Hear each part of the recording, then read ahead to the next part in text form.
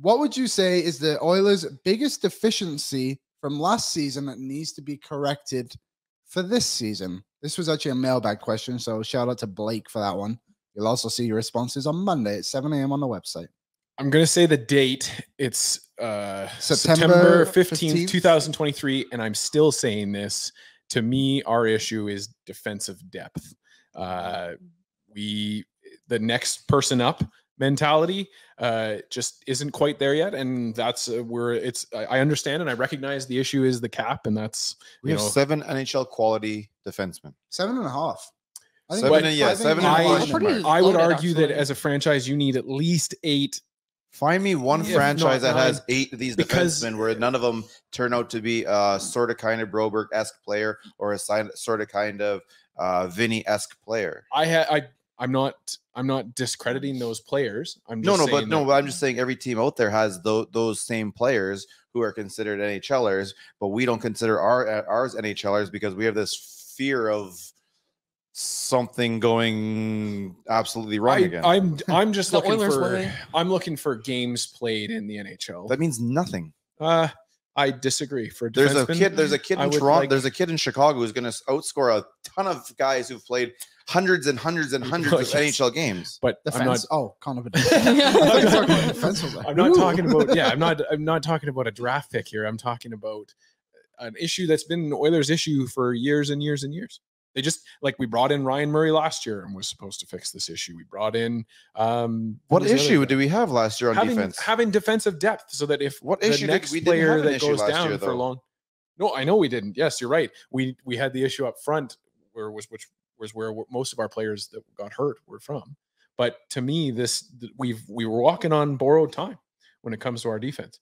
oh, good lord! Not a chance. I know. I, I you we have asked. two the guys. question ab- we have asked. two guys about the to question start. was asked. we have two guys about what to is the weakest issue we have two guys team? about to start That's their answer. about to like really take off their NHL careers, and the other five are well established NHL defensemen. I admire your optimism, Rick. I don't agree that necessarily. Why would we think about that- anything else? that Broberg and Desharnais are ready to just explode. I don't think that they're bad NHL players by any means.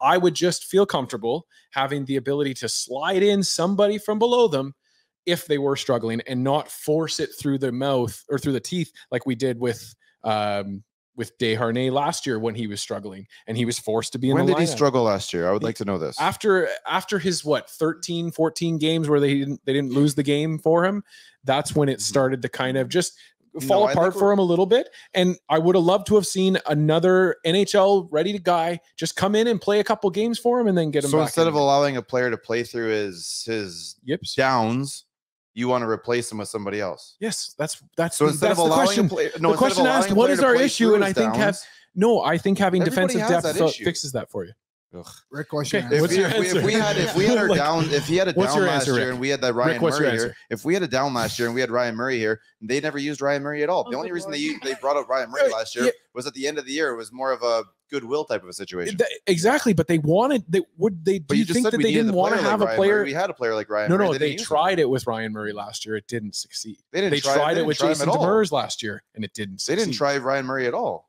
They did. They had him on the team, and he wasn't able to be better He didn't get a, than he, Desharnais. he didn't get any ice time till the end of the year, which was just Uh, yeah, out of like you're proving my point, Rick. You're proving my point. Is No, that not. I'm telling you, he was never good depth- enough to be on the team. That's these players are better. These players are be- Broberg and Desharnais are both better than your Ryan Murray's and Jason Demerses. yes, and that's the issue right there. The team needs better options to come in and fix that for the depth. I don't So think You're proving my point. You're proving. you- I really appreciate no, you you've proving my got some point. sort of. You just you- keep saying the guys that I'm pointing to and saying that were the issue last year.